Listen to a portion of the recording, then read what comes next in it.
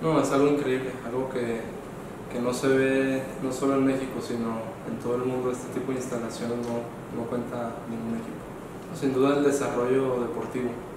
Claro que el club se, se preocupa mucho por el desarrollo humano, pero el desarrollo deportivo tiene todas las facilidades, todos los instrumentos para hacer mejor el jugador física este, y mentalmente, así que eso tarde o temprano rinde frutos dentro de la cancha.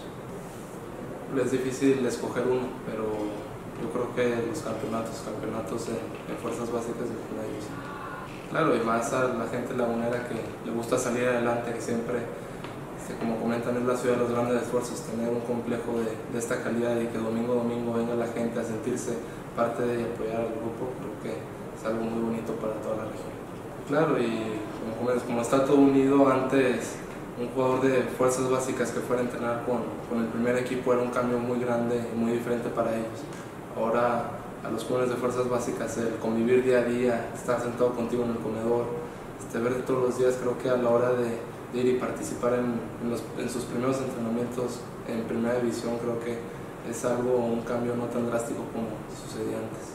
Bueno, fue, fue muy yo ese partido no, no iba a iniciar, este, estaba en la banca, pero el jugador que iba a iniciar sufrió una lesión en el calentamiento y llegó Caiciña y me dijo, calienta porque vas para adentro. Entonces de ahí empiezas a sentir esa adrenalina, esas ganas de ir a estar dentro y bueno, qué mejor que con un resultado positivo.